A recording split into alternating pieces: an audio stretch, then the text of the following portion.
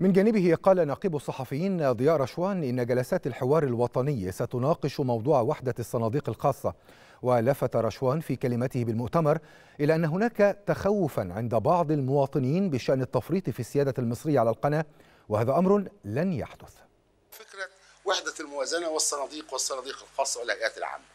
ده موضوع اقتصادي بامتياز أتى الصندوق لكي يسيره من جديد. هل موازنة الدولة تضم كل الهيئات والمؤسسات والصناديق أم لا؟ هناك رأي مطبق الآن أنه لا وهناك رأي اقتصادي آخر يقول نعم. ومن هنا بعض الاعتراضات تأتي من هذه الزاوية الاقتصادية وهي بالقطع كما أقول لحضراتكم أوضح لحضراتكم مطروحة الآن ضمن جدول أعمال الحوار الوطني.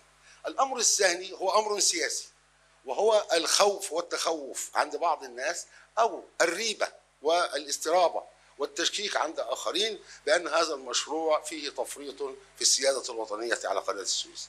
أنا لن أجيب بما هو معروف ومؤكد بالنسبة لي على الأقل أنه لا تفريط في السيادة المصرية على شبر واحد من أرض هذا البلد. فما بالك بهذه الأرض وهذه القناة التي سالت على ضفتيها دماء عشرات الآلاف من أبناء هذا الشعب المصري سواء من أبناء القوات المسلحة من الضباط أو الضباط الصف أو الجنود من الذين هم داخل القوات المسلحة عاملين وبالأخص الأغلبية الساحقة من مجندي القوات المسلحة من الضباط والجنود أيضا.